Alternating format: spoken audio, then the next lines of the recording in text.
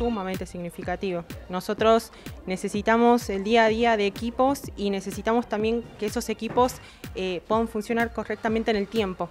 Adquirir equipos eh, caros es un costo importante para la universidad y que la universidad se pueda permitir invertir en, en los grupos formados ya desde hace tiempo y mantenerlos tanto con subsidios como con equipos, como es en este caso, es importante para nosotros, demuestra lo que significamos para la universidad.